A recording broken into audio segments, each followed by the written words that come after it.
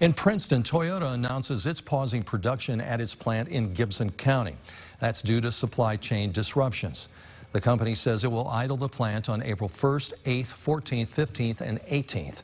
Employees will have the option of reporting for work to perform various tasks at the plants using a paid time off day.